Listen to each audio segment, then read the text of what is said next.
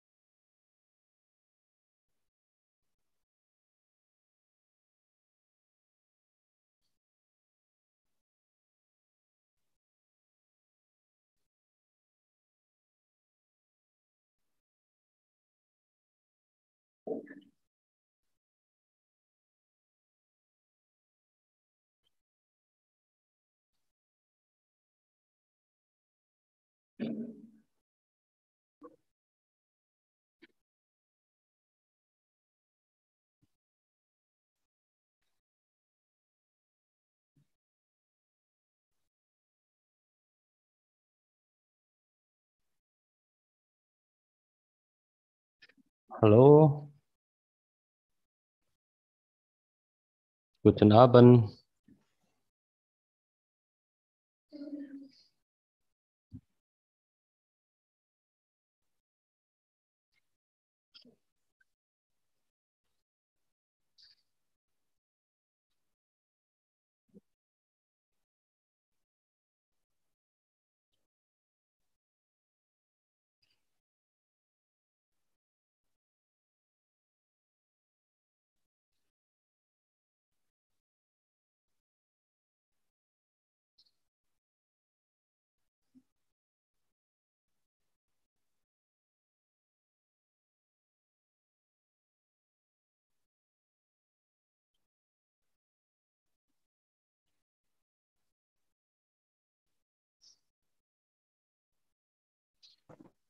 Hallo, guten Abend.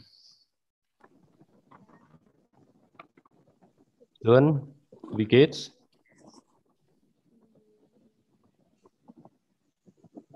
Sehr gut.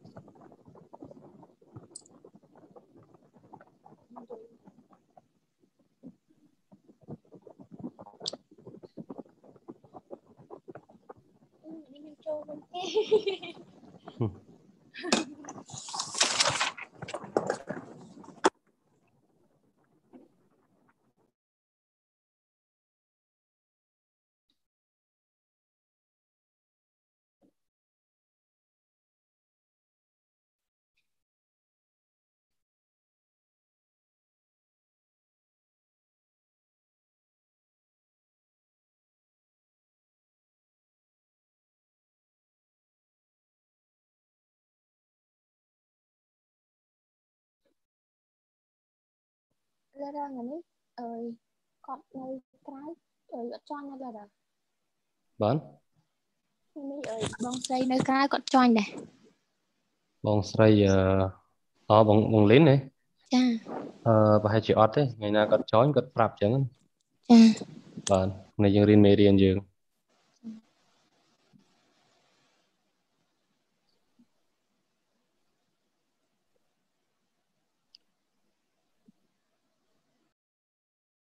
Haben Sie Abend Essen gegessen, Dürren? Ja. Haben Ja. Sie schon gegessen?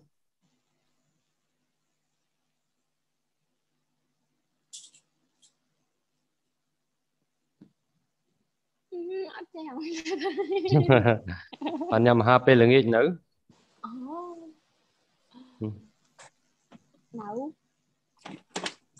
Guten Abend, Lida. Ja, guten Abend, Lehrer. Alles klar? Mm, ist gut. Danke. Mir geht es gut. Mir geht es gut. Ja, sehr gut.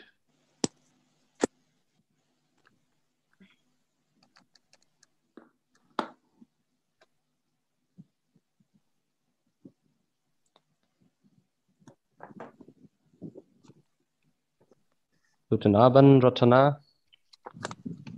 อืม Guten Tag Lehrer តែកណ្ដោនៅ Guten Tag ឡើយណាបាទនៅក្រោយ Guten Tag ក្រោយកម្ពុជា6ម៉ោងណាបាទ6អឺខែនេះដូចជាក្រោយ6ម៉ោងខែត្រជាក់អញ្ចឹងដល់ពេលខែក្តៅក្រោយតែ5ម៉ោងហើយក្រោយតែ5ម៉ោងទេណាបាទអាហ្នឹងមានខែក្តៅបើឥឡូវនេះខុសគ្នា6ម៉ោងបាទចុះខែក្តៅខែក្តៅនេះនៅដល់ អូខែនេះខែត្រជាក់ដែរខែតិចខែនេះវាឡើយត្រជាក់ crawling ខែនេះវាបើអឺគេ crawling ហៅគេមិនមែនហៅខែធ្លាក់តកអត់ទៀតអានេះគឺហ្នឹងហើយនៅលំហើយដល់លំហើយហ្នឹងតែវានៅតែធ្លាក់តកព្រោះវាធ្លាក់អត់ធ្លាក់ច្រើនអូវាធ្លាក់ដែរណាធ្លាក់ព្រិលតិចតិចដែរណាបើវាធ្លាក់តិចតិចដូចភ្លៀងអញ្ចឹងប៉ុន្តែវាអត់ធ្លាក់ក្រាស់ដូចអាពេលខែមុនហ្នឹងហើយចុះដល់ខែណាបានចប់ស្រួលលេងហី វា3ខែដូចជាចូលខែ4ណាខែ4ខែ4ខែចូលខែ4 4វាចាប់4ដើមចូលខែក្តៅវិញខែចូលឆ្នាំ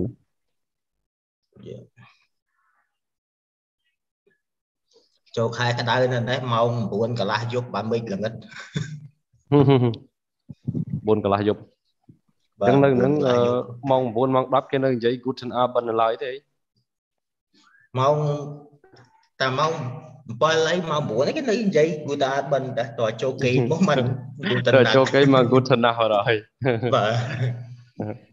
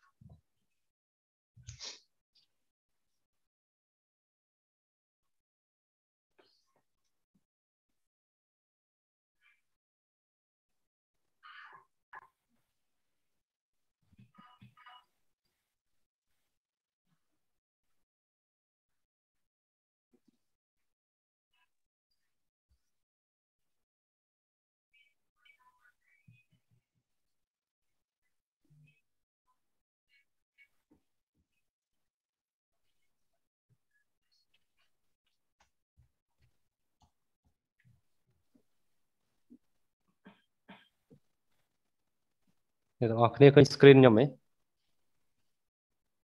តាណាបាត់ទៀតឃើញឃើញលោកគ្រូឃើញទេចាអូខេ good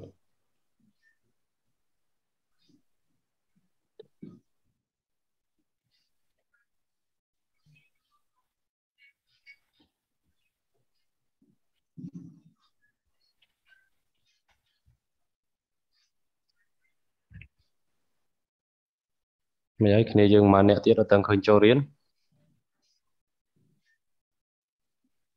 ខ្ញុំចូលបាន3នាក់ហើយណាបងអានេះមិនទាន់មកពីកន្លែងធ្វើការទេចុះណាណាអូមីឃើញសិនលិញមកឲ្យលោកគ្រូវិញចឹងទេលោកគ្រូអ្នកសិនដែរអានេះ forward ហ៎ Hallo Kanika Guten Abend Alles klar Ben, Nera. Alles klar heute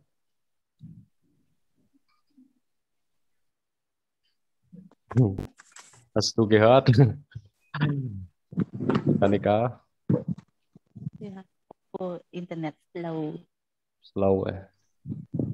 បងលើឲ្យគ្រប់ដឹង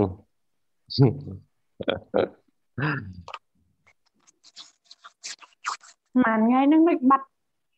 បងបុនថាស្ងាត់ឈឹងអឺបុនថាសុំផ្អាកមួយរយៈដោយសារគាត់រវល់ការងារអញ្ចឹងគាត់ឆាតមកលោកគ្រូតើចាគាត់ថាគាត់រវល់ការងារមួយរយៈនេះខ្លាំងពេកអញ្ចឹងគាត់សុំអឺសារៈសិនចាំរៀងស្រៈការងារបានចូលរៀនវិញ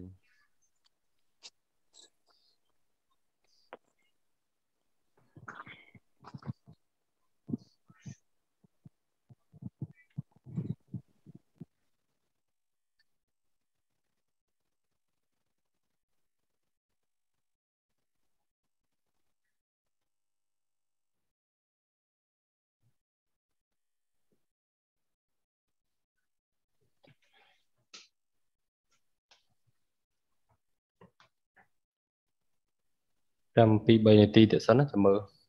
តែលោកគ្នាយើងចូល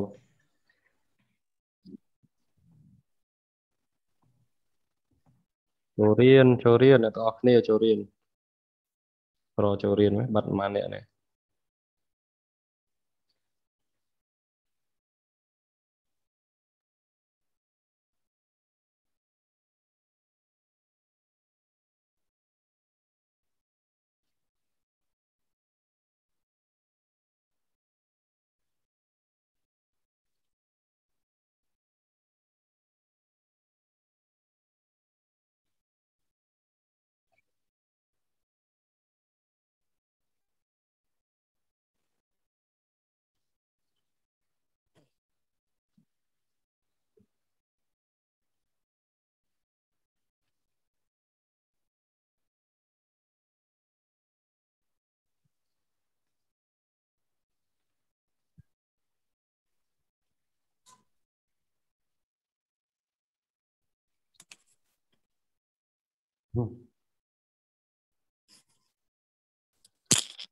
បាទចូលមកបានបង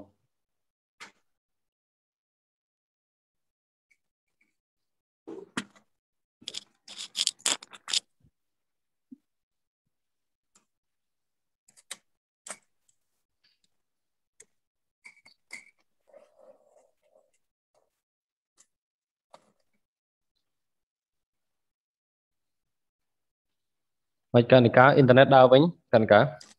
ដើរដើរហើយដើរហើយណាយ៉ាអូខេតែយើងកែលំហាត់បដើបដើណាយ៉ាហ្នឹងហើយបាន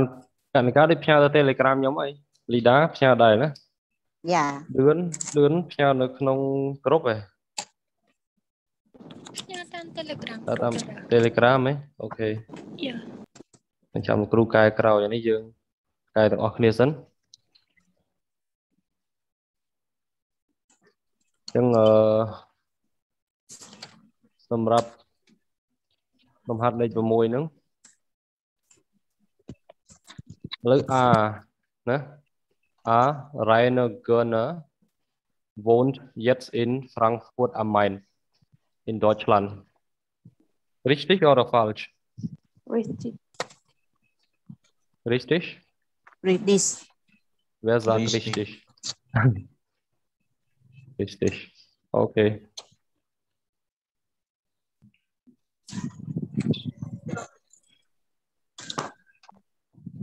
N- ណាគេចូលមួយមិញខ្ញុំលោកគ្រូអូធីតាអូខេ good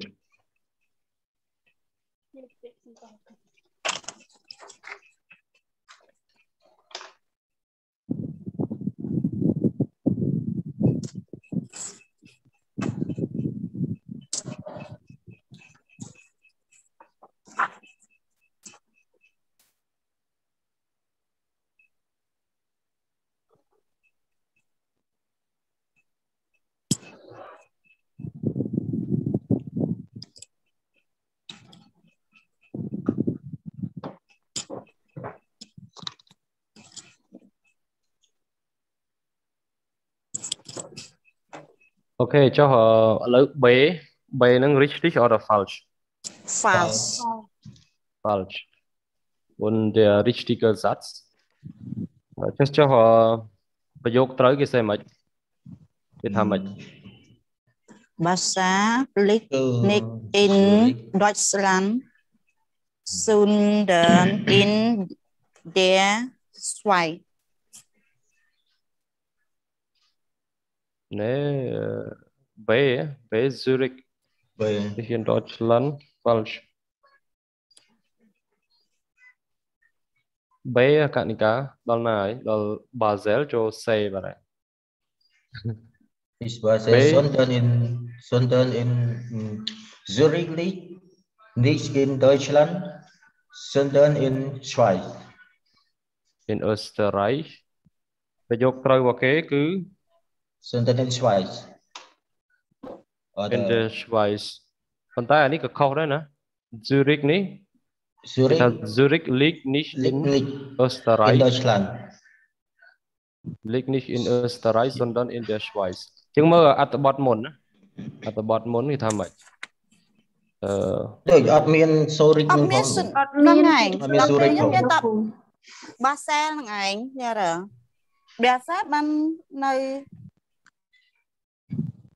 មានតែ Basel ហ្នឹងឯងយ៉ារ Basel បាននៅ Deutschland Basel នៅ Schweiz ខ្ញុំខ្ញុំអគិតត់ថានៅស្វ័យច្រឡំវាមិននៅ Basel វាមិននៅ Deutschland ទេប៉ុន្តែអានេះវាក៏មិននៅ Deutschland ដែរមិនដូចដូចច្រឡំខ្ញុំខ្ញុំគិតថាគេដូចគេប្រាប់ទីក្រុងយើងគេរបៀបពីឲ្យយើងដូរទីក្រុងអញ្ចឹងណា ខ្ញុំព្រោះខ្ញុំអត់យកកន្លែងហ្នឹង Ich sei whether this statement are true ពួកខ្ញុំរកអា true richtig ក្រុង oder ហ្នឹងអ falsch ត់ឃើញដែរដល់ពេលអញ្ចឹងទៅខ្ញុំដាក់ Basel ខ្ញុំខ្ញុំចូលឃើញ Basel ថា Basel ខ្ញុំ Basel Basel សូរ៉ូគ្រូតាស៊ូរិកហ្នឹងទី Ah ក្រុងរបស់ប្រទេសណា Zurich Zurich Zurich ដូចជាទីក្រុងរបស់អូស្ត្រាលីដែរ aus Wien ថាអឺ Zurich ដូចជាទីក្រុងរបស់អូ Zurich ស្ត្រាលីអត់ទេ Zurich នៅ in នៅអ Schweiz ត់ទេវិញទីក្រុងរបស់អឺណែទីក្រុងរបស់ Swiss ទេ Zurich ណាអញ្ចឹង Zurich អញ្ចឹងមានន័យថាសំណួរនេះគេដាក់ឲ្យយើងបាទឬថាសំណួរផ្សេងមួយឲ្យយើងតែខួរក្បាលមើលចាំនឹងឲ្យយើងចា reflect គេអត់ចុះមកអត់ខ្ញុំអត់ទេអត់អត់ពាក់ទីព័ន្ធក្រុងរបស់គេលោកគ្រូច្រឡំទេដឹងវាអត់ពាក់ព័ន្ធនឹងអាអាអាអត្ថបទមុនទេដឹងអត់មានចុះនេះជាមួយចុះនេះសិតតែសិតតែឈ្មោះសិតតែឈ្មោះមកពីនឹងតើ Rainer Görner wohnt jetzt in Frankfurt am Main in Deutschland យើងឥឡូវយើងមើលយើងហើយមើលឈ្មោះតាពាក្យហ្នឹងត្រូវទេតើគ្រូត្រូវទេតើព្រោះវាបន្ទាប់គ្នាតើហ្នឹងហើយតោះនេះនេះពេលនេះត្រូវនេះទេ ihr wohnt jetzt in Frankfurt am Main ត្រូវហើយគេយកពីអត្ថបទហ្នឹងហើយ Frankfurt is in Deutschland ណាឥឡូវ Yeah. យើងមើលទី2ទៀតមើលអឺ Zurich liegt nicht in Deutschland sondern ណាឥឡូវយើងមើលសិន Österreich ក្នុងនេះក្នុងនេះមានមានអត់មាន នៅខែនេះមាន Zurich អត់ skip ខែណាខែនេះហឹមជិះមិនអត់មានអត់មានអត់មាន Zurich សោះអត់មានស៊ូរិកទេអញ្ចឹងហើយបានខ្ញុំអូខេសួរលោកគ្រូហ្នឹងណាអូខេអូខេខ្ញុំអញ្ចឹងថាដាក់អញ្ចឹងទៅចាអញ្ចឹងដាក់ nicht in Deutschland sondern in Österreich អឺ in der Schweiz so ណា in Schweiz in der Schweiz Yeah. ណា student in sport អញ្ចឹង say ណា say Martina Schömer kommt aus Basel und wohnt noch in Basel ត្រូវអត់ Martina Schömer Schömer ត្រូវ kommt aus Basel sie wohnt noch in Basel អញ្ចឹងត្រូវហើយណា Read this ព្រោះគាត់មកពី Basel ហើយគាត់រស់នៅនៅ Basel ដដែលណា say say នឹង richtig ណាអញ្ចឹង B falsch ណា A richtig B falsch C äh, richtig ណា Und Susanne Susanne Vermeulen eine Stunde kommt aus អឺ äh, ច្រើន Delft in den Niederlanden ណា in den Niederlanden អញ្ចឹង Pass. äh, come aus Delft អូគ្មានអាបើក្នុងនេះអឺប្រទេសនេះឆ្លើយ Netherlands ណា Susanne Susanne Vermaulen. Okay, Susanne Vermaulen. Kommt aus Brüssel in Belgien. Sie wohnt nicht, aber nicht mehr dort. Sie arbeitet jetzt in im Hotel Lindenhof in Düsseldorf. Rồi khó. Con Pass. sao? អូអាអាដេនេះដេ Day ប៉ា fast Đây, đây. Richtig oder falsch? Susan fast Susanne Vermeulen come out Brussels in Belgium Belgium ហ្នឹងហើយបាទចប់អញ្ចឹង Susanne Vermeulen មកពីណា Woher kommt sie ថាគ្រូបើខាង Kommt aus Brüssel ណា Ayah mau makan. Hmm. Come aus Brussels អញ្ចឹងយើងថាម៉េច វាកែន យើងប្រើប្រយោគអឺ Susanne Vermeulen kommt Susanne Vermeulen kommt aus- aus aus- Brussels in Brussels Belgien. nicht Ja. nicht aus យើងថា nicht ណា Susanne Vermeulen kommt nicht aus Delft in den Niederlanden sondern ណា នេះអោ sondern Brussels ណាយើងប្រើពាក្យ sondern ណា sondern aus Brussels អញ្ចឹងអឺ day ហ្នឹងគឺ false ណា false អត់ត្រូវទេណា false អញ្ចឹងនាងនោះមិនមែនមកជា Susanne Vermeulen មិនមែនមកពីអឺ Netherlands ទេគឺមកពី Brussels ណា Ya, ហើយ ya. Sie wohnt jetzt in Düsseldorf und arbeitet im Hotel Lindenhof ត្រូវអត់ richtig ទីហ្នឹងគឺ Susanne Vermeulen ដដែលណា Vermeulen Ja. Sie arbeitet jetzt in Düsseldorf យើងមើលមក Sie arbeitet äh, Lindenhof in Düsseldorf richtig ណាយ៉ា richtig ណាអញ្ចឹង F F Michael Naumann aus Dresden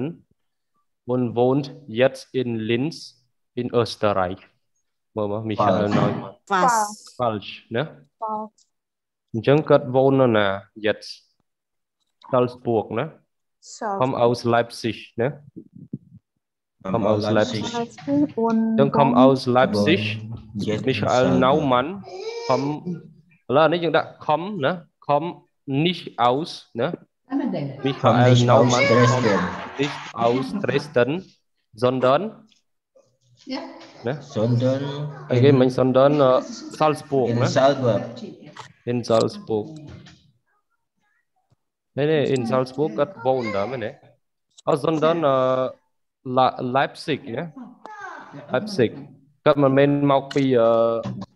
Dresden ទេប៉ុន្ តែមកពី Leipzig ណា und wohnt jetzt in Österreich Österreich ត្រូវអត់ យ៉ា wohnt jetzt in Salzburg អត់ត្រូវដែរហ្នឹង Sie wohnt jetzt in Salzburg យ៉ា in Salzburg in Österreich ហឹមហ្នឹងហើយអញ្ចឹងអានោះវាខុសទាំងពីរប្រយោគខុសទាំងពីរប្រយោគយើងកែទាំងពីរប្រយោគមក Michael Naumann kommt aus nicht Uh, Dresden, sondern äh, Leipzig, ne? aus Leipzig und wohnt jetzt nicht in Linz, ne? wohnt jetzt nicht in Linz, sondern in Salzburg, ne? អញ្ចឹងយើងកែទាំងពីរប្រយោគហ្នឹងណាឃើញទេនេះអឺ er wohnt jetzt in Salzburg ណា er kommt aus Leipzig អញ្ចឹងទាំងពីរប្រយោគនោះខុសទាំងអស់ណាសំទោសពីរប្រយោគនោះខុសទាំងអស់ណាអានេះគេថា come aus Dresden ប៉ុន្តែគាត់គាត់មកពីអឺ Sal អឺ Leipzig ណាអញ្ចឹងយើងដាក់ថា Michael Naumann kommt nicht aus Dresden Dresden sondern Leipzig ណារួចទៅ und wohnt jetzt nicht in Linz ណា គឺយើងដាក់ er wohnt ណា er wohnt jetzt yeah nicht in Linz sondern in Salzburg ណា Salzburg ណា Salzburg យើងមិនបាច់ដាក់ in មកវិញក៏បានដែរព្រោះ in ពីដំបូងមកហើយណាចឹងគេអាចជំនួសគ្នាបានអូខេអញ្ចឹងអឺតកតងទៅនឹងសំណួរដែលណា សំណួរដែលធីតាសួរអឺម្សិលមិញណាសួស្ដីមកលីនចាសួស្ដីសួស្ដីឃើញអត់បាទលឺបងច្បាស់អូយល្មមតារកកន្លែងវាយជោគឯងវាមិនសូវប្រសពអារឿងតាមនឹងសងដល់ពេលចឹងទៅគូមិនបាត់អស់បាទ ថ្ងៃនេះសូមចូលមេរៀនបងប្រហែលជាអត់បានសន្ទនាច្រើនទេណានេះអត់ទេចូលទៅខ្ញុំមើលដែរចូលទៅខ្ញុំមើលបាទអូខេតែប៉ុន្ចឹងតែអឺចូលតែអាកន្លែង link លោកគ្រូសែនឲ្យហ្នឹងចូលទៅស្រួលហ្មងគាត់ចុចទៅអូតូចូលខ្លួនឯងមកកន្លែងអោកន្លែងណាលិញឲ្យខ្ញុំឲ្យក្នុងនេះនោះ link ក្នុង chat group ហ្នឹង link ក្នុង chat group យើងយើងចូលកន្លែង launch meeting ទៅវាចូល direct បណ្ដោយមែនទេ ហ្នឹងហើយចូល direct ហ្មងបាច់ដាក់ passcode បាច់ដាក់អីបាទលយណាចង់ខ្ញុំរកមួយថ្ងៃអត់ឃើញដែរហ្នឹងតើខ្ញុំចូលតាមហ្នឹងដែរមិនចូលកើតចង់ឲ្យចង់ឲ្យរងថ្ងៃពេលលោកគ្រូចូល Zoom ទៅលោកគ្រូអឺ share ទៅក្នុងក្រុមយើងទៅចូលលឿនខ្ញុំខ្ជិលបាយបាទហើយធ្វើតែអូបើសិនខ្ញុំចូលអញ្ចឹងដែរតាលោកគ្រូអញ្ចឹងហ៎ចូលតាមអាអាអាចូលតាម link គ្រូដែលខ្ញុំ share ទៅតម្លាក់នោះ ហ៎ហ្នឹងហើយហ្នឹងហើយអូខេអូខេអញ្ចឹងក៏បានដែរចាំមើលលោកគ្រូ copy link ទៅតម្លាក់រាល់ថ្ងៃទៅស្រួលជាងណាចូលតាម link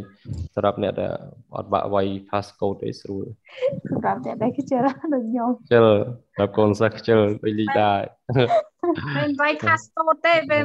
ខ្ញុំអត់ដឹងហ៎អាអាទូចអ្នកអាអាធំអ្នកវាយដល់ពេលអញ្ចឹងទៅខ្ញុំអត់បានដឹងថាគេវាយអាណាដល់ពេលឥឡូវតែមិនរកឃើញខ្លួនឯងអត់អីទេរកឃើញតែរកឃើញហ៎ អូខេ good អូយយ៉ាឈប់អ្នកបានដាក់នេះទៀតអឺតោះតាក់តងនឹងសំណួររបស់ធីតាម្សិលមិញណាធីតាអូសុនតែនហ្នឹងហ៎ធីតាសួរថាអាប់អាប់អាបហើយនឹងសុនដនណាតើអាបនឹងប្រើជំនួសសុនដននឹងបានអត់តែពិតទៅពីរនឹងវា អត្ថន័យសឹងអឺនិយាយទៅដូចគ្នាប្រហើយ aber ហើយនឹង sonder ហ្នឹងបើបកថាអង់បកជាអង់គ្លេសថា but ណាឬក៏ however ហ្នឹងអឺប៉ុន្តែ sonder ប្រែថា but ណាហើយអឺ aber អាចប្រែថា however បានណាតែ sonder ដូចជាឈប់ ich und nicht in Siem Reap sondern ich wohne in Phnom Penh ដូចជា sonder អត់អាចបកប្រែថា however ទេណាអូបើយើងបកប្រែខ្មែរអាអាបាត់ហ្នឹងអាអាអាអាបើហ្នឹងបានន័យថាប៉ុន្តែណាយើងបកបកប្រែខ្មែរបកថាប៉ុន្តែ Yeah. ប៉ុន្តែហ្នឹងហើយណាតែហើយដល់អឺទៅពេលសុនដែនហ្នឹងបានន័យថាត្រូវតែវាអត់ត្រូវទេបងត្រូវតែហឹម ត្រូវតែអត់ត្រូវទេព្រោះអីចង់សុនបញ្ដែនជាក់ថាអឺចង់និយាយថាសុនដែនហ្នឹងវាបញ្ជាក់ថាចេះអឺដូចជាយើងនិយាយភាសានៅនេះនេះវាដាក់ថា ich mag ich mag អឺ sim ណា ich mag sim អឺ Ich mag Siem Reap. Reap. ណានេះណាហ៎ Ich mag den Rip nicht ណែ sondern ich mag sim រៀប ich នេះ mag Phnom Penh អឺប៉ុន្តែខ្ញុំចូលចិត្តភ្នំពេញហ្នឹងណាអាកន្លែងហ្នឹងណាអាហ្នឹងវាបកបើតាមខ្ញុំអឺកាត់ន័យយល់បានបើបកជាខ្មែរឲ្យស្រួលទៅវា sondern ហ្នឹងវាប្រែថាប៉ុន្តែជំនួសមកវិញហ្នឹងហើយប៉ុន្តែឬក៏ប៉ុន្តែជំនួសផ្ទុយទៅវិញណាប៉ុន្តែផ្ទុយទៅវិញប៉ុន្តែ aber ហ្នឹងគឺប្រែថាប៉ុន្តែ ហើយរបៀបប្រើរបស់វាហ្នឹងគឺ sondern គ្រប់ប្រយោគគឺប្រយោគទី1នេះអានេះត្រូវមាន Hauptsatz គេណា yes yes តស័តហ្នឹងហ្នឹងគេហៅហៅគឺ start តែងតែចា negative ណាតែងតែ negative គឺគេចាប់ផ្ដើមពី ich wohne nicht in Siem Reap ឃើញ nicht ហ៎ពាក្យ nicht ហ្នឹងហើយ ich mag nicht ណារួចទៅបានគេនិយាយ sondern ហើយប្រយោគទី2ដែល sondern វាភ្ជាប់មកជាមួយហ្នឹងគឺតែងតែវាមានអត្ថន័យក្នុងការកែទៅប្រយោគទី1នេះណា ឧទាហរណ៍ថាវាថាអឺយើងថា ich mag Siem Reap nicht ណាខ្ញុំមិនចូលចិត្ត Siem Reap ទេអានេះគេថាប៉ុន្តែផ្ទុយទៅវិញណាប៉ុន្តែផ្ទុយទៅវិញខ្ញុំចូលចិត្តភ្នំពេញទៅវិញទេអញ្ចឹងណាបានន័យថាហ្នឹងគេមិនចូលចិត្តសៀមរាបនិងចំណងចំណូលចិត្តគេភ្នំពេញនេះគេលុបអានេះចោលបាននេះអាកន្លែងអូខេ each mark នេះណា mark ណាអញ្ចឹងអាកន្លែង each mark នេះអត់បាច់សរសេរមកវិញក៏បានដែរណានេះខ្ញុំសរសេរតម្រងខ្លីនៅខាងក្រោមអានេះខ្ញុំសរសេរមក គឺអឺដើម្បីឲ្យយើងឃើញនៅតម្រងពេញទេណាប៉ុន្តែដល់ពេលតម្រងខ្លីគឺអឺចេះវិញណាយើងថា Zondon ភ្នំពេញដូចយើងដូចយើងអឺ Susanne Vermeulen មិញឧទាហរណ៍អញ្ចឹងទៅថា wohn nicht in អឺអីគេ Dresden អញ្ចឹងទៅណា Sondern Sondern Sondern អឺ ពាក្យ Sondern ហ្នឹងមកពីមកពីយើងរៀនទៅម្ដងនេះអញ្ចឹងយើងអត់អាចនេះទេបើខ្ញុំខ្ញុំនេះខ្ញុំចង់ប្រាប់ថា Hello Hello ស្ដាប់បានអត់បាទអឺចង់ប្រាប់ថា Sondern ហ្នឹងវាមកជំនួសនៅនៅពាក្យដែលអឺមិនឲ្យយកអាឡែងពាក្យខ្ញុំនឹងហើយនឹង mark ហ្នឹងវាចូលគ្នាហ្នឹងវាបំបត្តិអាហ្នឹងចោលណាវាអត់ឲ្យយើងយកប្រយោគហ្នឹងមកនិយាយម្ដងទៀតទេវាគ្រាន់តែបញ្ជាក់លក្ខ អត្តន័យថាយើងជាអ្នកនិយាយនៅពាក្យហ្នឹងហើយអញ្ចឹងវាឲ្យយើងលុបនៅពាក្យខ្ញុំខ្ញុំចូលចិត្តហ្នឹងវាឲ្យលុបពាក្យហ្នឹងហ្នឹងវាជំនួសនៅពាក្យហ្នឹងឯងអូបាទហ្នឹងបានខ្ញុំសរសេរប្រយោគខ្លីឲ្យមកពីក្រោមហ្នឹងពីព្រោះបើយើងសម្រាយឲ្យពេញមកគឺវាប្រយោគវាដើមមកគឺវាពីរប្រយោគតែអាអាអា Sondern ហ្នឹងគេហៅថា connector ណា connector ហ្នឹងគឺជា ពាក្យភ្ជាប់វាមួយណាថា Sondern ហ្នឹងគឺជាពាក្យពិសេសមួយដែលវាឈរនៅគេហៅថា position 0ណាគឺជាអឺទីតាំងគេហៅទីតាំងលេខ0ណាហើយវាក៏អត់ប៉ះពាល់រវាងទីតាំងនៃការឈររបស់កិរិយាសព្ទដូចពាក្យខ្លះបើយើងចាប់ដើមដូច adverb ឬក៏ adjective បើយើងចាប់ដើមវាដោយពាក្យនឹងមុនអាទីតាំងរបស់កិរិយាសព្ទត្រូវផ្លាស់ប្ដូរ ត្រូវរត់មកនៅខ្ទង់ទី2ហើយនេះរត់ទៅនៅប្រធាននេះរត់ទៅនៅខ្ទង់អឺអានេះលេខ0សំទោសលេខ0កិរិយាសព្ទត្រូវរត់មកនៅខ្ទង់ទី1ហើយប្រធានរត់ទៅខ្ទង់ទី2ទៀតដែរហើយបើសិនជាពាក្យ while វិញដូចពាក្យ because because បើសិនជាវាឈរនៅកន្លែងតនេះអញ្ចឹងអា verb អា verb ហ្នឹងត្រូវរុញទៅនៅចុងកតុយវិញណាប៉ុន្តែលោកគ្រូអត់ចង់ឲ្យយើងវែកញែកដល់ថ្នាក់ហ្នឹងឲ្យតែយើងស្គាល់ច្រើនណាស់សុនដនហើយនឹងបាត់សិនណា វាវែងឆ្ងាយពេកអូខេសំខាន់ឲ្យយល់តែនេះសិនបានបាទយល់តែនេះសិនអានោះចាំយល់តែរបស់ពងរៀននេះហ្នឹងហើយមេរៀនក្រោយចាំនេះទៀតពីព្រោះលោកតនធីតាគាត់ឆ្ងល់ទៅខ្ញុំក៏លើកនៅនៅឧទាហរណ៍ជាក់ស្ដែងឲ្យយើងឃើញណាអឺពាក្យហ្នឹងណាខ្ញុំចង់និយាយប្រាប់ថាអ្នកដែលរៀនដល់ពាក្យហ្នឹងលុះត្រាតែអ្នកហ្នឹងធ្លាប់រៀនពី AN រហូតដល់ A ស្វាយ A ស្វាយចូលដល់សភៅ BN ហ្នឹងបានអាចរៀនដល់ណា ដល់កម្រិតដូចពួកខ្ញុំនេះដូចខ្ញុំនេះបានពួកខ្ញុំរៀនដល់ពីពួកប្រយោគអស់ហ្នឹងគឺការហៅថាការប្រយោគបំបត្តិបំបត្តិអត្តន័យហើយបំបត្តិអត្តន័យដូចថាខ្ញុំគេចង់បំបត្តិភាសាថាខ្ញុំហ្នឹងខ្ញុំហ្នឹងគេចង់យកអាពាក្យខ្ញុំហ្នឹងបំបត្តិអាហ្នឹងមួយកុំឲ្យយកអត់អីបងអត់អីបងហ្នឹងហើយអឺខ្ញុំ go through ឲ្យគាត់បន្តិចទេអត់បញ្ហាទេអញ្ចឹងអឺយើងមើលបន្តទៀតណាដូចខ្ញុំនិយាយអញ្ចឹងណាបើបកប្រែជាខ្មែរស្រួលទៅគឺ វាមានន័យអញ្ចឹងណាខ្ញុំអ៊ីនធឺណិតអត់ដើរប្រើ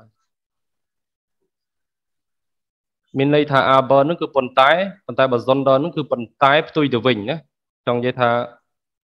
អឺបើសិនជាប្រយោគទី1នេះណាប្រយោគទី1នេះ negative ហើយប្រយោគទី2នេះវាមានន័យក្នុងការអឺជំនួសណា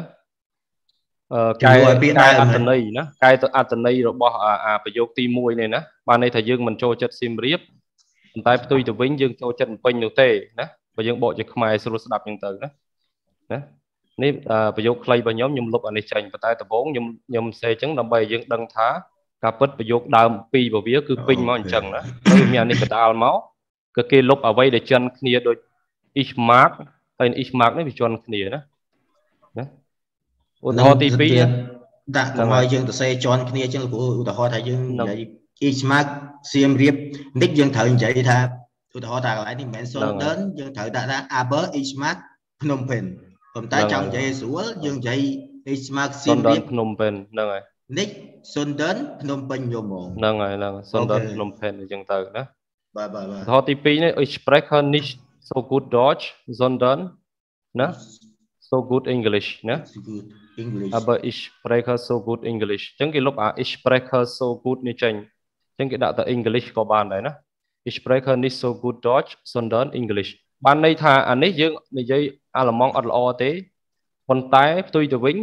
អង់គ្លេសគឺល្អអញ្ចឹងណាចឹងអត្តន័យវាផ្ទុយផ្ទុយផ្ទុយគ្នានេះដូចជាសេខុសលោកគ្រូអឺអូខេ English សំទោសនៅមានសេមួយទៀតណា យ៉ាលោកគ្រូច្រឡំសេដូចអង់គ្លេសទៅ English ណា English English សេណា English ហ្នឹងហើយ English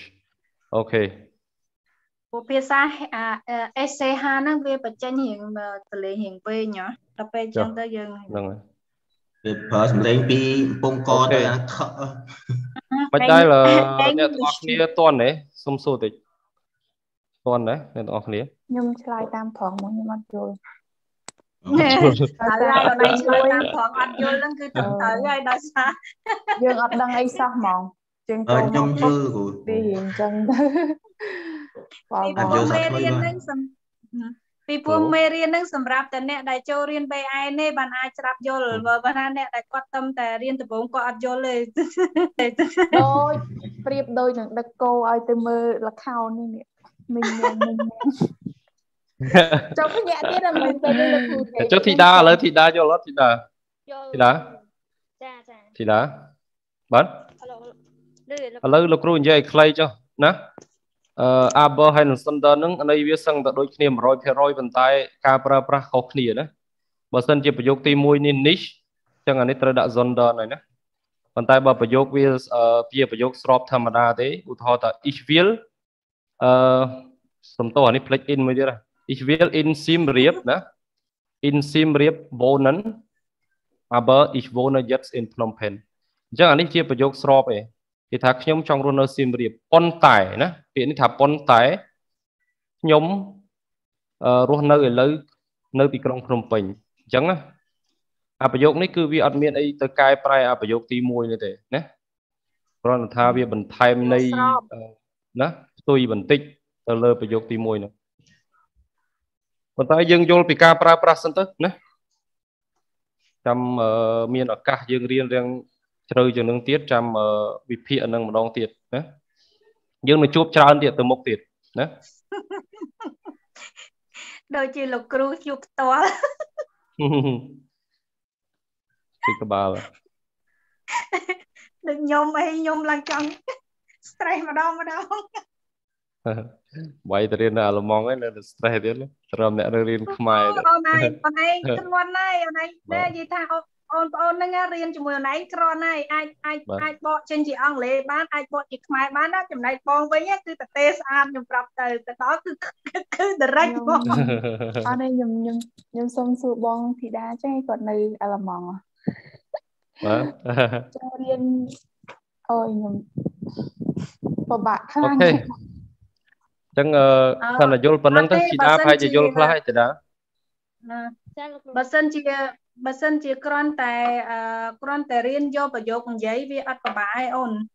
តែបើសិនជាយករៀនយកការទៅសេទាំងការស្ដាប់អាហ្នឹងបងទទួលស្គាល់ថាមិនមែនពិបាកអេវាចូលលក្ខណៈ double double ពិបាកនិយាយមួយម៉ាត់និយាយមួយម៉ាត់ឲ្យចំទៅគ្រូបរៀនតាគ្រូនិយាយតាគ្រូទៅយើងអង្គុយនៅតុ អាចចុចទូរស័ព្ទអីទៅតែចង់និយាយថាចេះអឺបងរៀននៅនោះរៀនយើងរៀនយកសញ្ជាតិឬក៏មិនបងអឺខ្ញុំរៀនចូលខ្ញុំរៀនយកសញ្ជាតិអូនសិន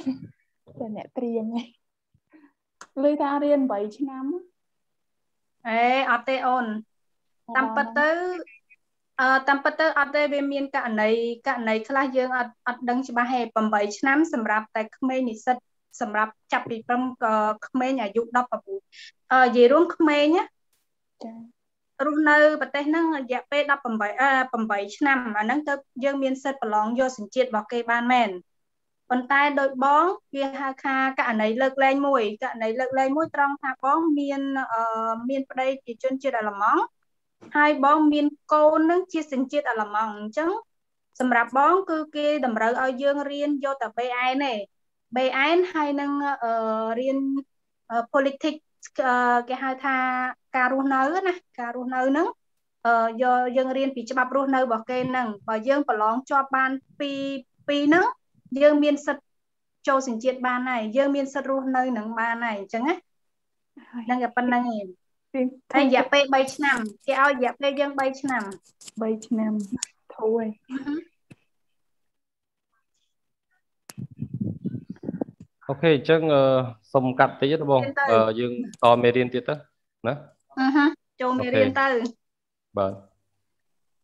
អូខេអញ្ចឹងយើងកែលំហាត់អស់ហើយអញ្ចឹងយើងមើល sprach info ណាសូមមើលកន្លែងទៅនេះ sprach info for the third person singular ណា he ស្មើនឹង air ណា she នេះគឺ c ណា it នេះគឺ s ណាដល់ពេល one នេះគឺ man ណា ហើយ add okay you add a t to the stem of the verb ណាអូខេសម្រាប់ third person singular ហ្នឹងបរោះទី3គេហៅបរោះទី3ឯកវចនៈនឹងការបំបែកកិរិយាសព្ទហ្នឹងវាត្រូវលុប an ចេញណាលុប an ដែលជា n ចុងដែលគេហៅថាចុងកតុយណានៃកិរិយាសព្ទហ្នឹងហើយគេជំនួសមកវិញដោយ he ណា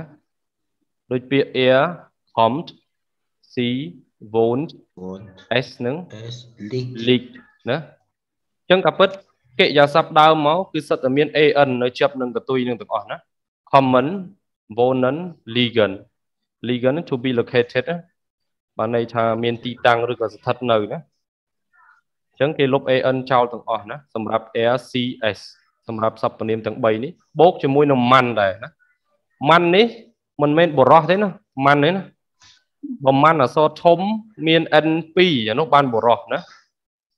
តែ man នេះបើយើងបកជាខ្មែរទៅគេថាគេណាឧទាហរណ៍ថាគេនឹងមិនមែនអឺវាជាបរោះទី3ដែរបរោះទី3ឯកវចនៈដែរគេចាត់ទុកណាប៉ុន្តែឧទាហរណ៍ថា manzak ណាគេនិយាយថាណា manzak គេនិយាយថាអូខេ man អឺ mus ឧទាហរណ៍ man mus schwer lernen ណា man muss viel üben ណាអញ្ចឹង man muss viel üben ឧទាហរណ៍ហ្នឹងបានន័យថាអឺ man ហ្នឹងក៏ប្រែថាយើងដែរ man muss man muss viel üben ហ្នឹងបានន័យថាមនុស្សយើងគួរតែអនុវត្តឲ្យបានច្រើនណាពួកយើងគួរតែអនុវត្តឲ្យបានច្រើនណាអឺអ៊ុំអឺគេហៅថា besser Deutsch zu sprechen ណា man muss feel üben ណាអញ្ចឹងបានន័យថាពួកយើងណាពួកយើងគួរតែអនុវត្តឲ្យបានច្រើនក្នុងការនិយាយអាល្លឺម៉ង់ឲ្យបានប្រសើរជាងនេះណាមិន muss viel üben um Deutsch besser zu sprechen អញ្ចឹងទៅណាអញ្ចឹងពេលខ្លះប្រែតែគេពេលខ្លះក៏ប្រែថាយើងដែរមិនណាប៉ុន្តែមិនយើងមិន where ទេណាមិន where ទេណាអានេះវាចាប់ទុកជា third person singular ណាមិនហ្នឹងហើយមិនសាច់ គេនិយាយថាឧទាហរណ៍ថា man can man can each spazieren អញ្ចឹងការទៅគ្រូ man can ហើយ man can ឧទាហរណ៍ថា spazieren ខ្ញុំអាចទៅដើរលេងអញ្ចឹងអានឹងអត់ប្រែតែអត់ប្រែតែខ្ញុំទេអត់ប្រែតែខ្ញុំទេ man ប៉ុន្តែឧទាហរណ៍ថាឧទាហរណ៍ថា here ឧទាហរណ៍ here here in dem park uh, can man uh, good uh, citizen អញ្ចឹងទៅណា យើងអាចអង្គុយលេងបានយ៉ាងស្រួលលេងនៅសួន in dem park in dem park here kann man gut sitzen und lesen ណាអាចអង្គុយបានយ៉ាងស្រួលហើយអានសៀវភៅអីចឹងទៅណាបានន័យថាគេបានន័យថាគេណានៅក្នុងសួនច្បារនេះគេអាចអង្គុយលេងអឺបានយ៉ាងស្រួលហើយអានសៀវភៅបានអញ្ចឹងណាតែដោយសារតែនេះវាអត់មាននិយាយទៅម៉ាន់នេះវាជំនួសដោយដោយសារតែវាអត់មានជាសព្វនាមអីជាក់លាក់សំដៅលើនរណាម្នាក់ ក្នុងបាទគេហៅថាសម្រាប់ជាមនុស្សម៉ាន់នោះគឺថាវ៉ាន់វ៉ាន់នោះគឺជាមនុស្សមនុស្សទូទៅហ្មងណានិយាយសំដៅលើមនុស្សទូទៅណាប៉ុន្តែដោយសារតែ form របស់វាគឺ form វាកម្មបែកកិរិយាសព្ទវាចូលជាមួយនឹង third person singular ហ្នឹងណាវាយកអា endong the ដូច ARCS ដែរណាប៉ុន្តែក៏ពិតគេនិយាយជាមនុស្សទូទៅមនុស្សទូទៅវ៉ាន់ណាអូខេយល់ទេ យល់យល់យល់យល់ហើយចុះអ្នកទាំងអស់គ្នាអ្នកផ្សេង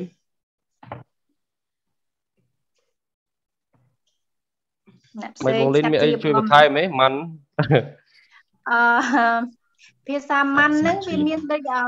អូននិយាយហ្នឹងវាត្រឹមត្រូវហើយវាមានពីរអាម៉ាន់ហ្នឹងបើយើងប្រើជាគេថាបើប្រើជាម៉ៃម៉ាន់បានន័យថាគាត់ជាប្តីរបស់ខ្ញុំអញ្ចឹងណាអញ្ចឹងវាស្មើនឹងអក្សរនេះវាសរសេរវាសរសេរអក្សរធំណា តែខុសគ្នាហ្មងអានោះផ្សេងម៉ាន់ម៉ាន់នោះផ្សេងម៉ាន់ M R double N នោះប្តីណាណាតែប៉ុណ្្នឹងអាហ្នឹងបញ្ជាក់ថាជាប្តីវិញហើយជាមនុស្សយ៉ាប្ម៉ាន់រុអសសឬទូក៏ចជានេះតាមម៉ែប្រមាម៉ាណន់អអក្សសររទូទូចចនេះនិយាយមនុស្សទូទៅបាទតែមនុស្សទូទៅក្នុងករណី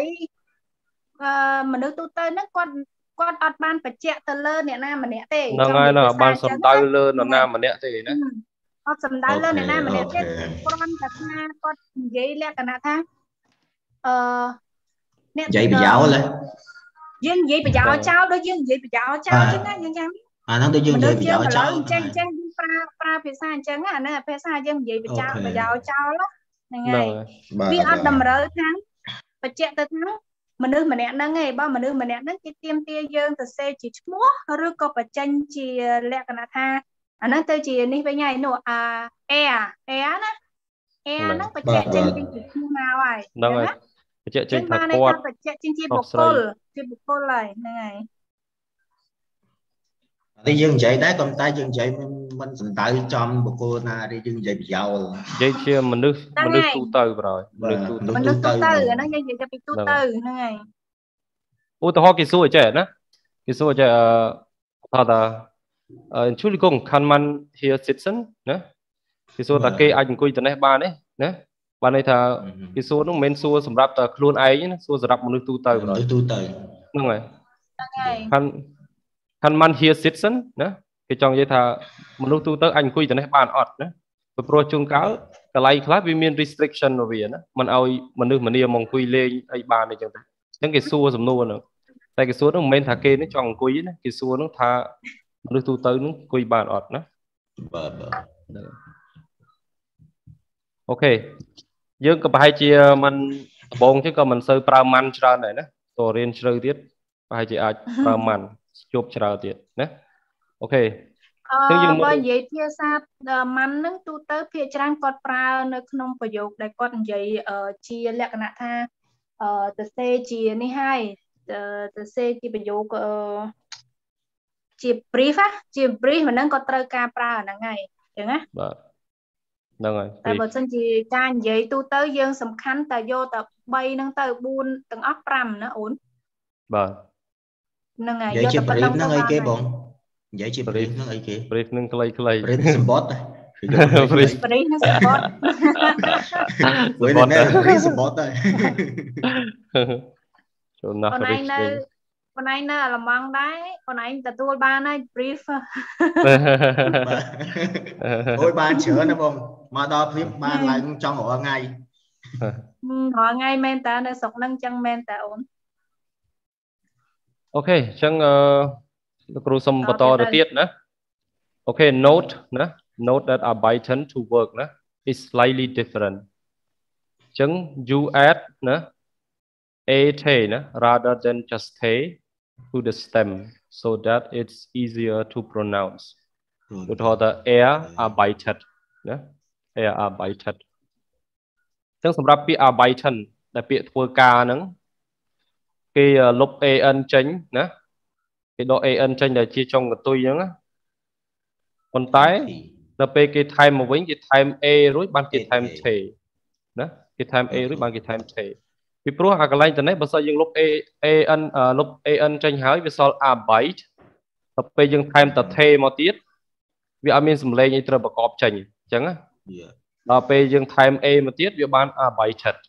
ពីព្រោះ the ពីរដងវាអត់មានសម្លេងអីទៅរួចទេណាក្រៅពីសម្លេងវា the ដដែលអញ្ចឹងបានក្នុង grammar អាឡម៉ង់ហ្នឹងគេថែម A the មកវិញណាហើយយើងនឹងជួបករណីអឺច្រើនទៀត ដូចពាក្យអឺ redden redden នោះនិយាយជជែកគ្នាអញ្ចឹងណា redden redden air a d a n ណាគេលុប a n ចេញគេថែមវិញក៏អត់ថែមតែ the ដែរគេថែម a រួចបានថែម the ទៅជា rated ណា air rated ណាអញ្ចឹងភាគច្រើន verb សារភាសាថេន verb ឆ្នាំដែលវាបញ្ចប់ដោយអក្សរ the និងអក្សរ d ភាគច្រើន គេថែម a the មកវិញណា a the គេអត់ថែមអឺតែ the មកវិញទេណាដើម្បីឲ្យវាមានសលេងប្រកបមកវិញហេតន់នេះអ្នកទាំងអស់គ្នាកានិកាធីតាយ៉ាណាឌឿនទេដូចបាត់អឺលីដាមួយទៅណាបាត់ហើយរត់បាត់ហ្នឹង អូនៅខាងនេះតើនេះហ្នឹងហើយអូខេទូតតន់នេះលីដាតន់តន់តាតន់ណាតន់តន់តែមើលក្បាលយើងចាំតកិយាស័ព្ទនេះមួយសិនទៅណាអឺមាត់ខ្ញុំថាតន់តែលោកគ្រូមើលក្បាលខ្ញុំមកចឹងបានថាដំបងឡើយអឺទៅចូលបំបីកិយាស័ព្ទអាចមួយមួយឈឺក្បាលហើយចឹងបានថា យើងរៀនចាំរៀនចំណាំសិនទៅដូចមួយយ៉ាងដែរកុំទាន់គិតរឿងបែកកិយាស័ព្ទតែបើយើងចាំក៏ចាំទៅរូបមន្តតិចតិចម្ដងមួយពាក្យម្ដងមួយពាក្យណាតែយើងស្គាល់ web ឆ្នាំនៅ web ឆ្នាំហើយនឹង end យងណាដើមហើយនឹងកតុយយើងយើងចាំបានទេ lesson មេរៀនមុនដូចលោកគ្រូបរៀនហើយណា រៀនអំពីកិច្ចស័ព្ទហ្នឹងវាបែងចែកជាពីរណាវាមានដើមវាមានកតុយអញ្ចឹងដូចពាក្យ common ណាលោកគ្រូសូមបកទៅវិញ common អានេះគេហៅថាដើមហើយណាគេហៅ web ស្តំណាគេលុប an ចេញណាដល់ពេលអា an ហ្នឹងគេហៅថា n រង n រងនោះគឺចុងកតុយណាអញ្ចឹងវាពីរផ្នែកចឹងវាមានដើមវាមានកតុយវាហើយនៅពេលដែលគេបំបែកគេអស័ព្ទ យើងត្រូវស្គាល់ពីរផ្នែកហ្នឹងបានយើងបំបែកចេញពីព្រោះយើងត្រូវដកចុងកតុយចេញរួចហើយយើងបន្ថែមនៅកតុយថ្មីមកវិញអញ្ចឹងដូចកន្លែងត្នេះ RCS យើងដក AN ចេញហើយយើងរុញថេបញ្ចូលវិញណាយើងដាក់ថេចូលណាទៅវាមានកតុយថ្មីមកវិញណាដល់ពេល A Byton គេមិនត្រឹមថែមតែថេទេគេថែមដល់ទៅ A មកទៀត A ថេណា អញ្ចឹងវាទៅជា air arbeitet C arbeitet ណាប៉ុន្តែ S ដូចជាមិនកើតទេដូចมันមាន S ហ្នឹងវាធ្វើការឥឡូវឥឡូវករណីអីបងជួយឧទាហរណ៍មួយមើល S អឺករណីដែលដែល S ហ្នឹងវាស្មើនឹងអឺ C ស្មើនឹង C បានន័យថានាងមកទៅនាងណាបញ្ជាក់ទៅលើមនុស្សមនុស្សស្រី ទម្រង់មនុស្សស្រីណាប៉ុន្តែនៅលើវហុបាយណៈមិនមែនទូទៅទេវាខុសគ្នាទូទៅ C មួយទៀតអឺអានេះ S អាម៉ាណា RCS នេះវាស្មើនឹងពហុវចនៈយើងហៅថាពហុវចនៈដោយសារតែគាត់និយាយក្នុងបុគ្គលតែម្នាក់ទេគាត់អត់មានប្រើបុគ្គលច្រើនទេក្នុងបុគ្គលតែមនុស្សម្នាក់ទេយល់បាទអឺចំណែក C មួយទៀត C មួយទៀតគេហៅថា C ទូទៅ C ទូទៅដោយសារតែគាត់បញ្ជាក់ទៅលើមនុស្សស្រីច្រើនមនុស្សមនុស្សមនុស្សមនុស្សស្រីច្រើនឬក៏បញ្ជាក់ទៅនៅលើ មនុស្សទាំងអស់ហ្នឹងគាត់យើងអត់ដែរស្គាល់យើងអត់ដែរស្គាល់គេហៅថាការដែលនិយាយអឺជាមួយមនុស្សដែលមិនដែលស្គាល់យើងត្រូវការប្រើភាសាភាសាសមរម្យភាសាគួរសមអាហ្នឹងអាហ្នឹងគេហៅថាភាសាគួរសមណា អឺ C អសធំហើយ CS ធំអូបែងនិយាយហ្នឹងបែង C អសធំទៅចាក់ទៀតបាត់ហើយ C សំដៅលើ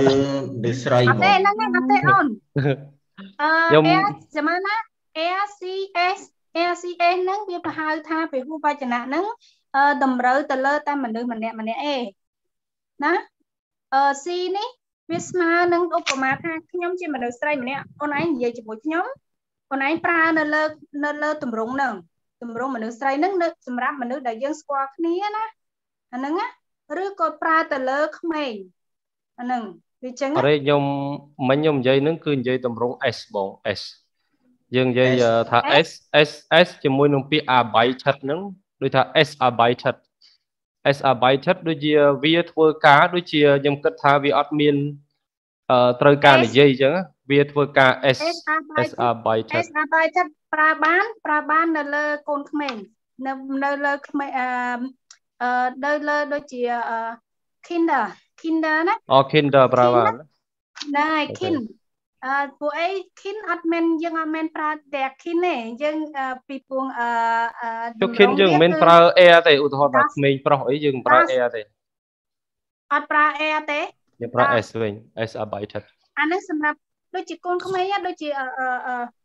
យើងហៅ baby baby das baby មិនមែនមិនមិនមែនមិនមែន air baby ទេអត់ទេអញ្ចឹង das baby ហ្នឹងហើយ das អ baby ញ្ចឹង das ហ្នឹងវាវានៅទម្រង់អឺអឺ S ហ្នឹង S ណាហ្នឹងហើយអឺហឺអញ្ចឹងយើងយកទៅប្រើនៅ ក្នុងលក្ខណៈដូចកូនក្មេងអី S S arbeitet អញ្ចឹង das das Mädchen អាចថា S arbeitet ដែរ das Mädchen ក្មេងស្រី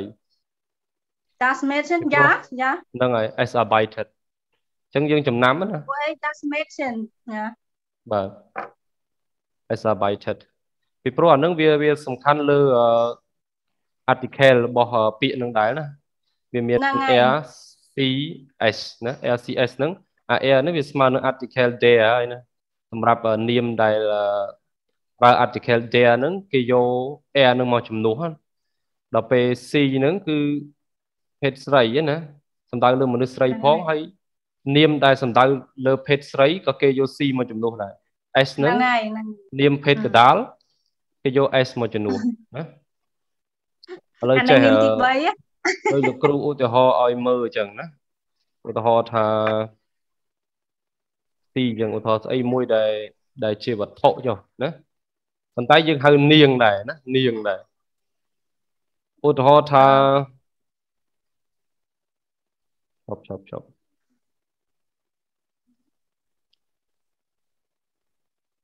ស៊ី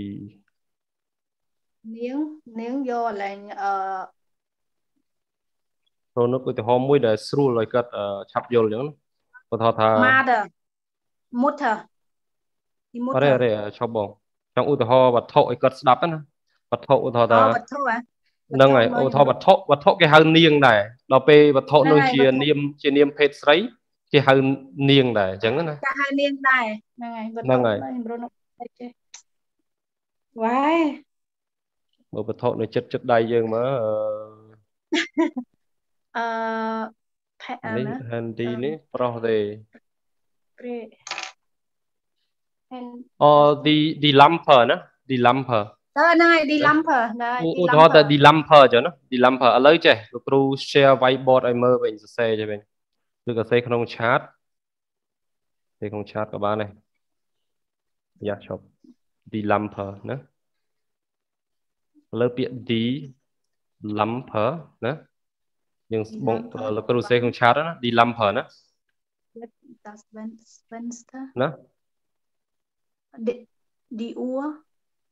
die Uhr ក៏បានដែរ Uhr ក៏បានដែរអូនហ្នឹង die Uhr ឧទាហរណ៍ថា die Uhr អឺ costed ណា costed 200 euro អញ្ចឹងទៅណា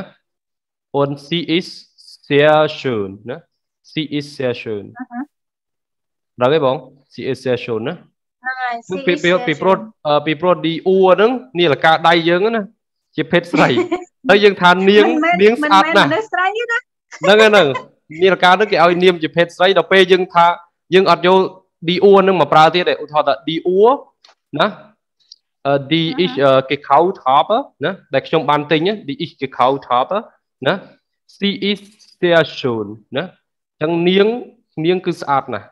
តែក៏ពិតយើងធម្មតាយើងថាវាទេមែនទេនៅក្នុងភាសាអង់គ្លេសគេថា it's very nice ណា it's a very nice watch អញ្ចឹង វាគឺស្អាតណាស់ប៉ុន្តែដល់ពេលភាសាអាល្លឺម៉ង់គេទៅជាប្រើនាងវិញគេថានាឡិកានោះនាង គឺស្អាតខ្លាំងណាស់អញ្ចឹងណាទោះបីតែដើមឈើក៏ដោយដែរដើមឈើ der Baum ណា der Baum ឧទាហរណ៍ថា ich habe ហ្នឹងហើយ ich habe ឧទាហរណ៍ថា einen mango baum zu Hause ខ្ញុំមានស្វាយមួយដើមនៅនឹងផ្ទះណា er ist sehr groß ណា er ist sehr groß អញ្ចឹង er is ហ្នឹងគេយើងនិយាយពីដើមឈើណែ er ហ្នឹងប្រែថាគាត់មែនទេប៉ុន្តែដើមឈើហ្នឹងជាភេទប្រុសអញ្ចឹងគេថា er is sehr groß ណា er is ហ្នឹងគឺវាហ្នឹងដើមឈើហ្នឹងអីធំណាប៉ុន្តែគេអត់និយាយវាទេគេនិយាយគាត់វិញ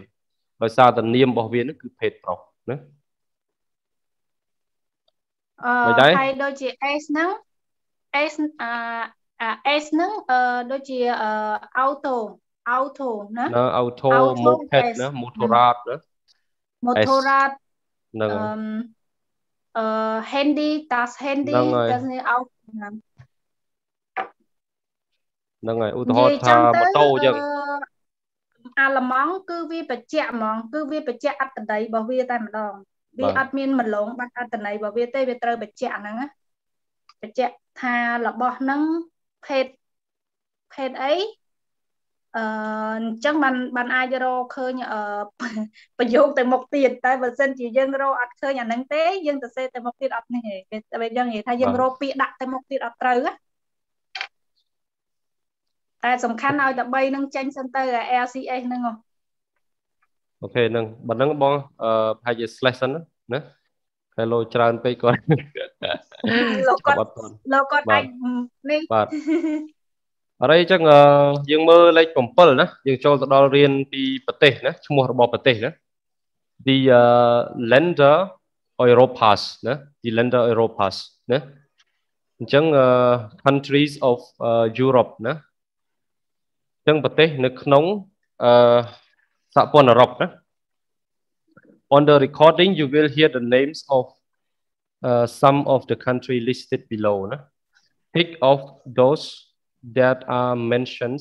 then listen to the recording again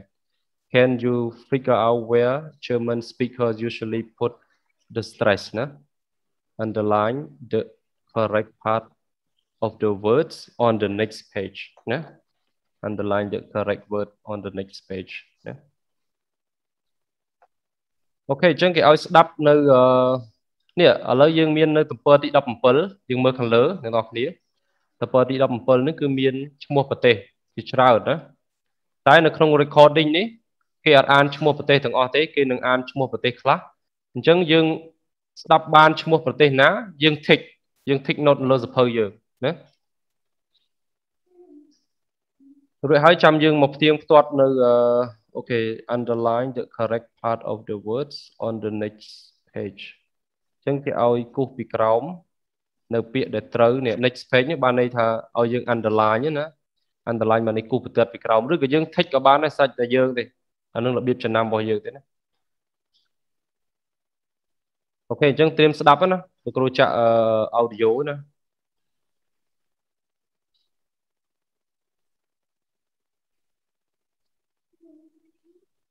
Lektion 2, Übung 7. Die Länder Europas. Exercise 7. Here are some of the countries listed in your book. Tick off the names as you hear them. Belgien, Dänemark, Deutschland, Großbritannien, Irland, Italien, Spanien, die Türkei. Now listen again and this time underline the stress syllable. Which syllable is most often stressed? Which countries don't follow this pattern? You'll find the answers in the key to the exercises.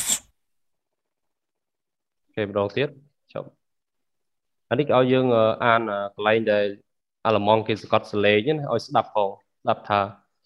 ប្រទេសណាដែលគេសកត់សលេង Lektion 2, Übung 7. Die Länder Europas.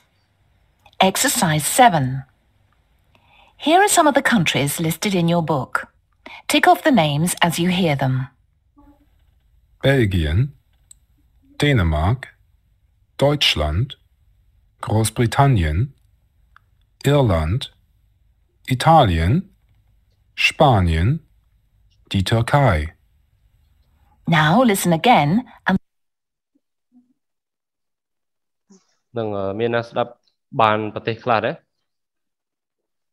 បានបាន6ប្រទេសប្រទេស6ប្រទេសហើយប្រទេសគេខ្លះ Belgium Ireland then Denmark Deutschland Denmark Deutschland Spanish die Turkey die Turkey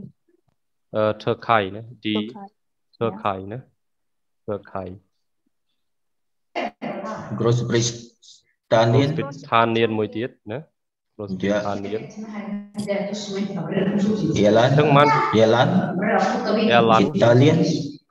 អ៊ីតាលៀនស្ប៉ានៀនទីទួកាយ៉ាស្ប៉ានៀនទីទួកាបេយ៉ាបេហ្ស៊ីនដេនម៉ាក Belgien Denmark Deutschland Deutschland Groß Großbritannien Yeah. Ireland, Ireland Italian, Italian Ireland, Italian, Spanish, ស្ប៉ានៀនទីធ្វើខៃណាអញ្ចឹងទាំងអស់ប្រហែលប្រទេស1 2 3 4 5 6 5 6 អឺ 8ប្រទេស 7 8 9ណាអស់ឆ្វៃអត់មានទេ8ទេណា 8 8ទេណាឥឡូវស្ដាប់ទៀងទឹកម្ដងទៀតណា This time underline the stress syllable. Lektion 2, Übung ម្ដង 7. ទៀតណា Die Länder Europas. Die Länder Europas Exercise 7. Here are some of the countries listed in your book. Tick off the names as you hear them. Belgien, Dänemark, Deutschland, Großbritannien, Irland, Italien, Spanien, die Türkei.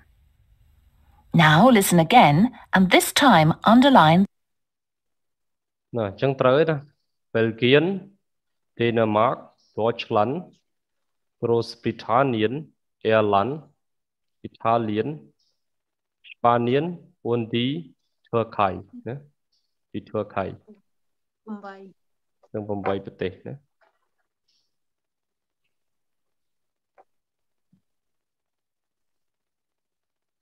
អូខេអញ្ចឹងយើងមើលនៅខាងក្រោមគេដាក់ note ណា note for the great majority of countries you would just say ich komme aus Irland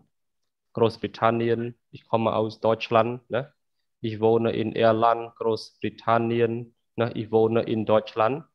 ប៉ុន្តែណាវាមានករណីលើកលែងខ្លះសម្រាប់ប្រទេសខ្លះវាមាន article មកជាមួយណាវាមាន article អញ្ចឹង there are few exception ណា most important are Switzerland per uh, Switzerland Turkey ណា Turkey និង Netherlands and uh, the US ណា the Netherlands and the USA ណាអញ្ចឹងពាក្យប្រទេសទាំង4ហ្នឹងសិតតែមកដោយមាន article មកជាមួយដូចប្រទេស Swiss ប្រទេស Swiss article ដើមមកវាគឺ die Schweiz ណា die Schweiz ណាអញ្ចឹងនាមរបស់វាគឺ article ភេទស្រីណា ដល់ពេលយើងនិយាយយើងនិយាយថា ich komme aus មិនមែនថា ich komme aus Schweiz អញ្ចឹងទេណាយើងនិយាយថា ich komme aus der Schweiz ណា ich komme aus der Schweiz អញ្ចឹងយើងត្រូវមាន article នៅពីក្រោយ preposition aus នេះថែមទៀតណាហើយដល់ពេលធ្វើខៃដូចគ្នាណា ich komme aus der Türkei ណា ich komme aus der Türkei ប៉ុន្តែពាក្យថា Turkey ហ្នឹងនៅក្នុងភាសាអង់គ្លេសគេនិយាយអត់មាន article ទេណា I'm from uh, Turkey អញ្ចឹងអត់មាន I'm from the Turkey ទេប៉ុន្តែនៅក្នុងភាសាអង់គ្លេស I'm from the US ណាយើងធ្លាប់ឮមែនទេ I'm from the US អានោះយើងប្រើ article the ណា I'm from the US ណា I'm from the USA ណា the ឬក៏ the United States ណាអានឹងប្រទេសដែលមាន article មកជាមួយ the ណៃដែលជា article ណា ដូច there die das នៅក្នុងភាសាអង់ភាសាអាល្លឺម៉ង់អញ្ចឹងអញ្ចឹងប៉ុន្តែដល់ពេលធ្វើខៃនេះនៅក្នុងភាសាអាល្លឺម៉ង់វាមាន article មកគេដែរណាវាមានអឺកាពិត article ដើម die ដល់ពេលប្រើជាមួយ preposition aus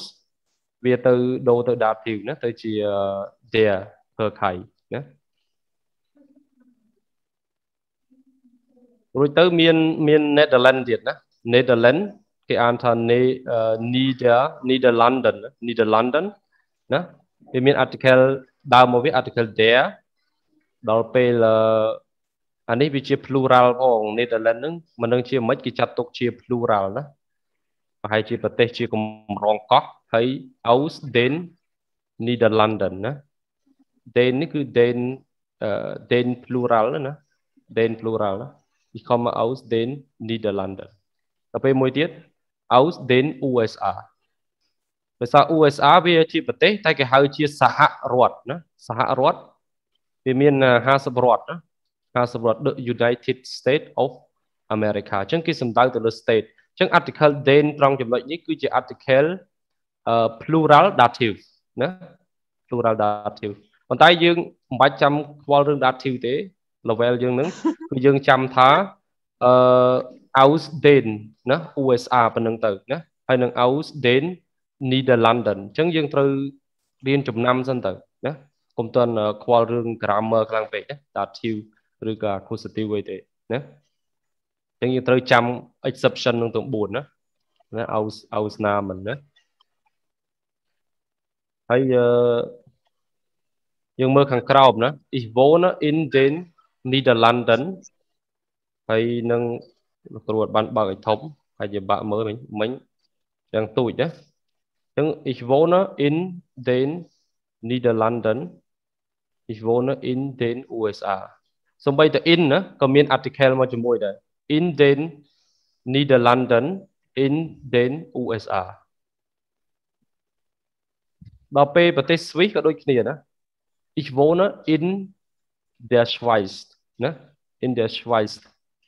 ich wohne in der Schweiz ich wohne in der uh, Türkei ចឹងយើងមិនមែនថា ich wohne in Türkei ich wohne in Schweiz ទេណាប្រទេសផ្សេងផ្សេង ich wohne in Cambodia បានណា ich wohne in Thailand ich wohne in Vietnam ich wohne in អឺស្អីទៅខេត្តយើងសៀមរាបក៏បានដែរណាប៉ុន្តែ លើកលែងតែប្រទេសនេះទេដែលត្រូវប្រើត្រូវប្រើ article មកជាមួយណា ich wohne in der Schweiz ich wohne in der Türkei ណា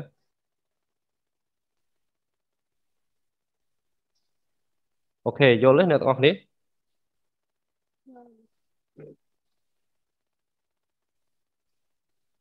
បើសិនជានៅតែអត់យល់ហើយមានសំណួរអាចសួរលោកគ្រូមកណាលោកគ្រូអាច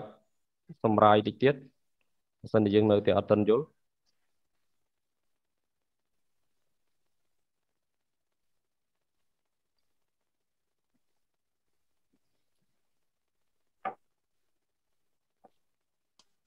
លេខ ខ្ញុំមានសំណួរមួយបាទឌឿននេះយ៉ាអូខេសួរមកឌឿនហេតុអីគេប្រើអី Dan ហើយនឹងអីនេះលរហើយប្រទេសដូចតែគ្នាតែលរអឺត្រង់ចំណុចនឹងអូមួយ D មួយ Dan អឺ D នេះអានឹងវាតាក់ទងទៅលើភេទរបស់ប្រទេសនឹងទៀត ចឹងចំណុចហ្នឹងវាវារឹងសាំញ៉ាំបន្តិចដោយសារតែគេបែងចែកមកថាប្រទេសស្វីសហ្នឹងអឺដើមមកវាគឺជាភេទស្រីណាភេទស្រីគឺ D D Schweiz ណាដល់ពេលអាតួគីនេះក៏ដូចគ្នាដែរ D D Turkey ណាដល់ទៅពេលអឺអឺ Netherlands ណា Netherlands នេះណាគឺ ភេទរបស់វាគឺភេទ D ណា D D Netherlands ប៉ុន្តែ D នេះគឺ D plural ទេណាប៉ុន្តែដល់ពេលវាចេញទៅជា dative គឺវាបដូរទៅ den វិញណា den ណា aus den Niederlanden អញ្ចឹងបានវាបដូរទៅជា den វាអត់ទៅជា der ដូចអឺ Schweiz ទេពីព្រោះ Schweiz ជាភេទស្រីហើយ singular ប៉ុន្តែ Netherlands ហ្នឹងគឺជាភេទអឺគេហៅថាភេទអឺមិនដឹងភេទស្រីប៉ុន្តែ ជាពហុវចនៈណាដែលវាមកជាជា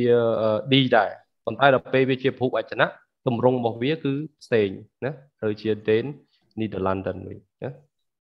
USA ដូចគ្នាណាបាទចុះភេទហ្នឹងគេ គេសម្គាល់លើលើលើអ្វីលើអឺភេទហ្នឹងវាអត់មានរបៀបសម្គាល់ទេណាវាមានរបៀបសម្គាល់មួយចំនួនប៉ុន្តែក៏វាអត់បាន100%ដែរដូច Lehrer ប្រហែលជាអាចបង្ហាញនៅមេរៀនក្រោយៗខ្លះណាមានរបៀបចំណាំខ្លះណាប៉ុន្តែអឺសម្រាប់ពាក្យមួយចំនួនដូចពាក្យប្រទេសពាក្យអីហ្នឹងគឺយើងអត់អាចមានក្បួនចំណាំនេះគឺយើងត្រូវតែទន្ទិញចាំអញ្ចឹងណា លឿនអាហ្នឹងអាហ្នឹងដូចជាតាមខ្ញុំយល់មើលដូចជាពាក្យគេត្រូវប្រើអញ្ចឹងហ្មងលោកគ្រូឧទាហរណ៍ដូចជាអ៊ីរ៉ង់យើងនិយាយ is come is come out them អ៊ីរ៉ាក់ឬមួយក៏អ៊ីរ៉ង់អញ្ចឹងវិញហ្មងហ្នឹងវាដូចជាពាក្យដែលគេត្រូវប្រើអញ្ចឹងហ្មងហ្នឹងហើយហ្នឹងហើយវាវាអត់មានអីត្រូវចំណាំហ៎និយាយរំគឺយើងចំណាំខ្លួនឯងថាប្រទេសហ្នឹងត្រូវប្រើវាសហ្នឹងហើយអញ្ចឹងហ្មង វាអាចការពិតគេបែងចែកវាមាន accusative វាមាន dative ដែរប៉ុន្តែ បើយើងចំណាំ accusative និង dative ក៏វានៅតែសាំញ៉ាំដដែលដែរបើយើងស៊ូយល់ល្អយើងស៊ូចំណាំមួយពាក្យទៅមួយពាក្យវិញវាស្រួលជាងអញ្ចឹងក្នុងចំណុចហ្នឹងឌឿនឥឡូវអញ្ចេះទៅអ្នកអ្នកទាំងអស់គ្នាចាំតែប្រហែល exception ហ្នឹងទៅវាអត់ច្រើនដែរវាមាន4 exception ហ្នឹង ហើយជាប្រទេសដែលយើងស្គាល់ហើយនឹងអាចប្រហែលជាប្រើប្រាស់ច្រើនណាក្នុងចំណុចហ្នឹងអញ្ចឹងយើងដឹងថាសម្រាប់ Swiss មួយ e-commerce Austria Schweiz ណាវាទៅ Turkey ដូចគ្នា e-commerce Austria Turkey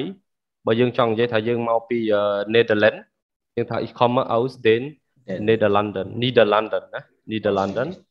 បើថា USA e-commerce Austria USA អញ្ចឹងទៅណាអញ្ចឹងយើងត្រូវចំណាំណា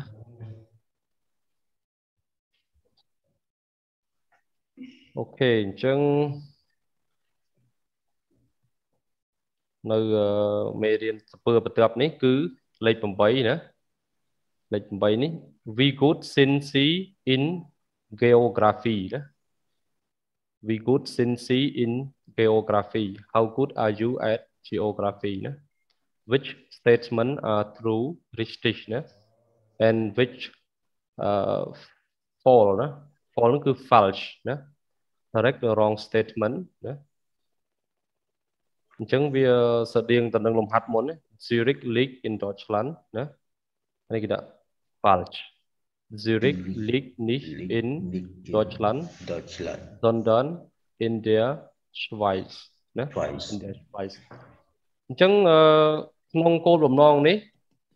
អឺវាឲ្យយើងធ្វើលំហាត់នេះគេឲ្យយើងធ្វើ richtig or falsch ប៉ុន្តែការពិតគេចង់បញ្ជ្រាបយើងឲ្យចេះប្រើនៅពាក្យ sonder ហ្នឹងណាឃើញគេគេមកអាតម្រង sonder នេះម្ដងទៀត nicht nicht bla bla bla bla sondern ណាអញ្ចឹង Zurich liegt nicht in Deutschland ណា sondern in der Schweiz ណា in der Schweiz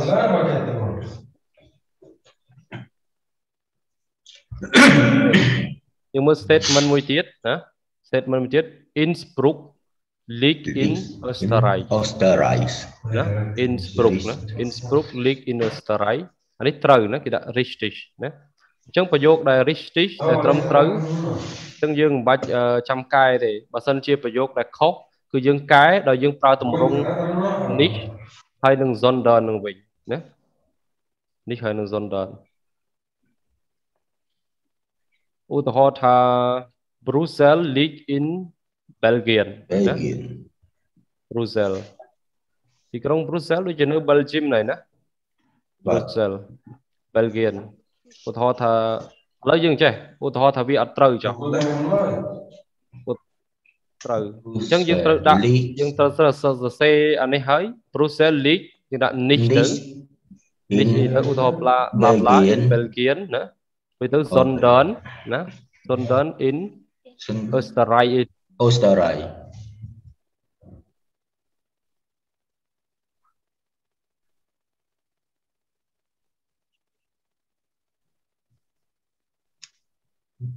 ដូចជាលេងលើសំឡេងលោកគ្រូ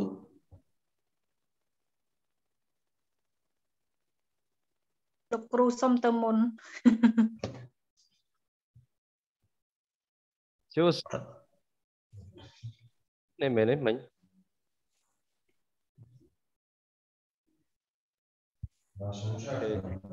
ហើយ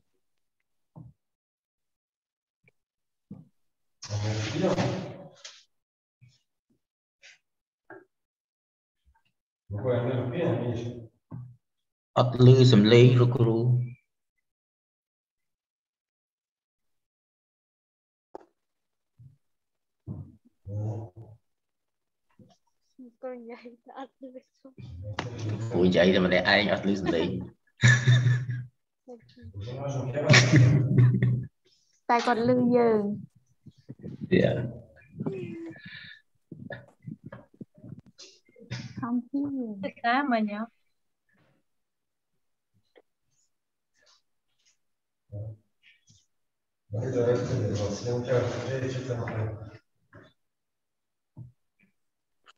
ា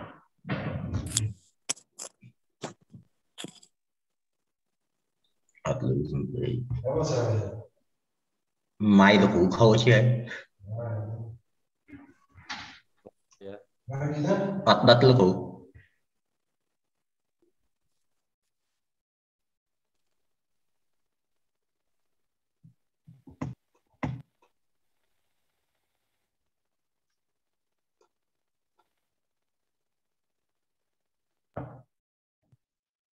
bắt sập hơi thôi nhé ឡេងម៉ៃលោកគ្រូខូចហ៎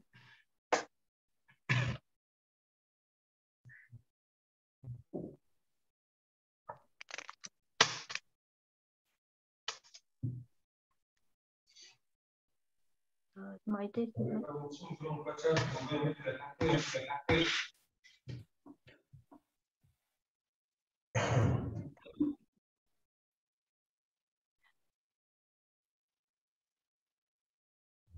គ្រូបាត់សភៅមើលនេះសភៅវានៅតុកឯនេះថ្មីទេរដ្ឋាអនឡាញមកនៅអាឡម៉ង់នឹងមករៀនឬមួយក៏មកនៅនឹងតែម្ដងអូននៅនឹងបងតាបងឡូឡូអូខេលឺវិញលឺលោកគ្រូវិញណាអូខេចូលគ្រូ test ឡងទៀត Hello Hello ចឹងលឺវិញណាចាបាទបាទអូខេ good ចឹងអឺឥឡូវយើងដល់ម៉ោងដែរណាចឹងអានេះវាคล้ายជាទី house of carb ណាជាលំហាត់យើងសម្រាប់ឯទៀតជប់បើអត់ដឹងថាអឺខេត្តណានៅប្រទេសណាអាចទៅមើលនៅណាបានតែ Google Google search ក្នុង Google Google Mr Google ណា Mr Google search ជួយបានណា ខ្ញុំជំនាញអ៊ីនធឺណិតផងជំនាញអ៊ីនធឺណិតផងទៀតនិយាយនិយាយនិយាយផ្ទុយណាចង់និយាយថា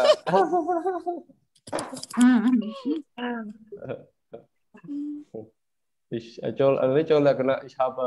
Internet អរណែនេះ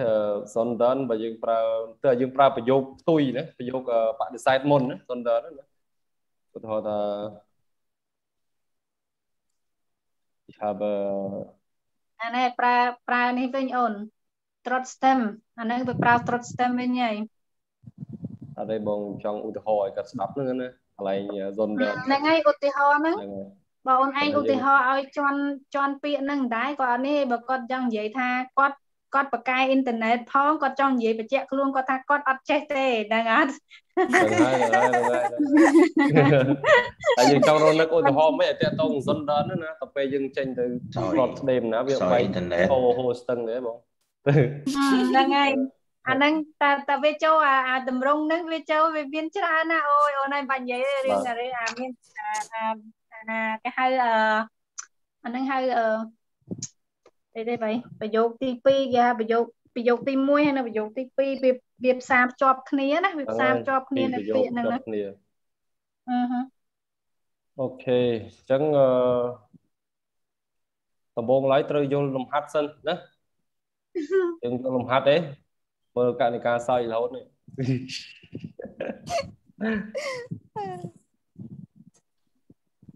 យ៉ាងណានឹងឌឿន Ich komme auch យកដកតែនេះតាអូនឯងមើលមើលអាតម្រងលើនេះមើលអាឈ្មោះពីប្រទេសហ្នឹងមើលតែរូបប្រទេសយើងហ្នឹងហើយយើងដកពីតម្រងហ្នឹងមកវិញមកថា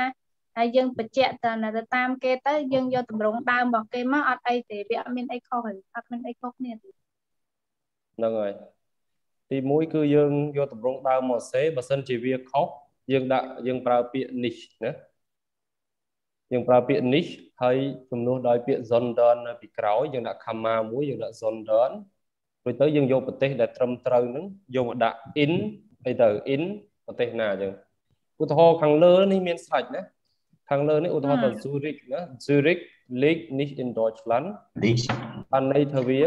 អត់ត្រូវណាអានេះគេឲ្យប្រយោគមកគេថា Zurich នឹងគឺនៅក្នុងប្រទេសអាល្លឺម៉ង់ប៉ុន្តែយើងមើលទៅវាអត់ត្រូវទេ Zurich នឹងគឺនៅក្នុង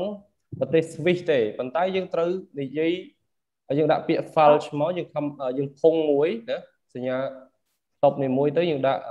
Zurich League យើងប្រើពាក្យ nicht in Deutschland ដូចទៅយើង comma ណាយើងដាក់ sondern in der Schweiz អានេះបានជាប្រទេសដែលត្រឹមត្រូវណាអញ្ចឹងឃើញទេ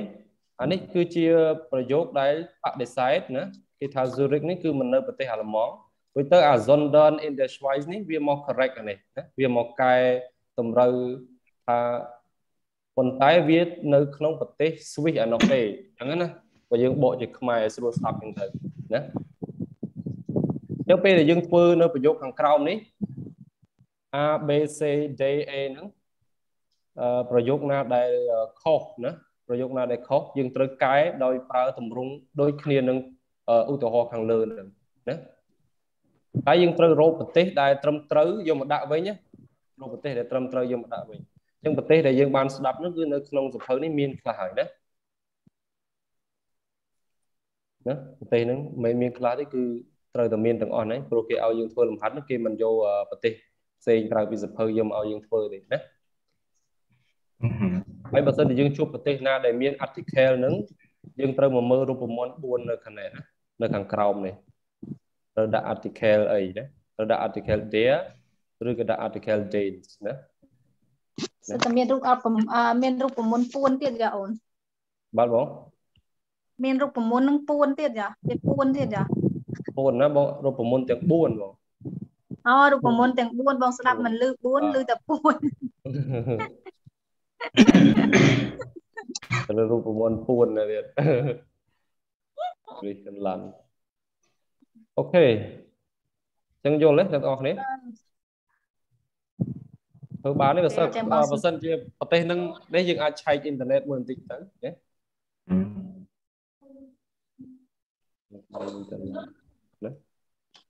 មិនមិនចេះឆែកអ៊ីនធឺណិតចូលតា Google ចូលតា Google វាយតាអក្សរខ្មែរក៏ចេញដែរអត់អីស្រួលចូល Mr Google តិច មើលប្រទេសនឹងថាត្រឹមត្រូវនៅនៅតំបន់នឹងមែនអត់ដែលគេឲ្យប្រយោគនឹងមកណាបើអត់ត្រូវទេយើង correct វិញថាប្រទេសណាដែលប្រទេសត្រឹមត្រូវណានឹងទីតាំងដែលគេឲ្យព្រោះនេះគេឲ្យឈ្មោះប្រទេសដល់ពេលលំហាត់របស់យើងនេះគេឲ្យគេជឿអត់ទៅអញ្ចឹងនេះតែអូខេអានេះគេឲ្យជារដ្ឋគេឲ្យជាទីក្រុងវិញណាយល់ទេ ឥឡូវយើងរៀនអាមិញនោះរៀនណែអំពីប្រទេសដល់ពេលនេះគេឲ្យជាទីក្រុងប៉ុន្តែអត្ថបទយើងពីមុនមានតែ Brussels នោះនៅប្រទេសណាណាប៉ុន្តែ Heidelberg ដូចជាអត់មានទេ Köln Köln ហ្នឹងគឺប្រទេសអាល្លឺម៉ង់ហ្នឹង Köln ហ្នឹងរាជធានីនៅអាល្លឺម៉ង់ Salzburg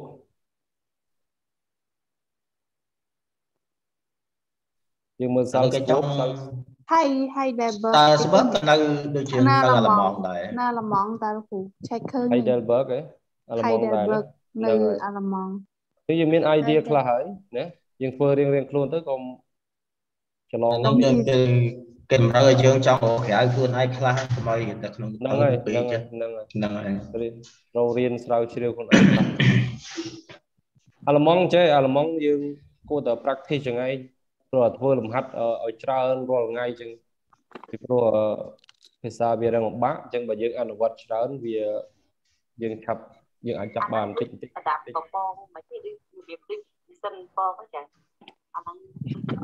ហ្នឹងចូលណែគេចូលប្រដាប់កោឯណាខំតែចាំស្ដាប់អូខេអញ្ចឹងប៉ុណ្្នឹងឯណាយើងណា បាទអញ្ចឹងបងសុំប៉ុណ្្នឹងអញ្ចឹងបរៀនទីលេខ9លេខអីទៀតណាអូខេអញ្ចឹងធ្វើលំហាត់នៅគ្រូទៅបន្តិចទេណាលំហាត់នឹងតែត្រូវការយើង research ខ្លួនយើងបន្តិចណា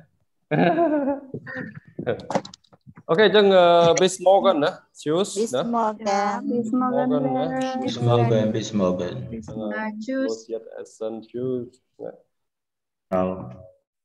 តមកហូបហើយនេះ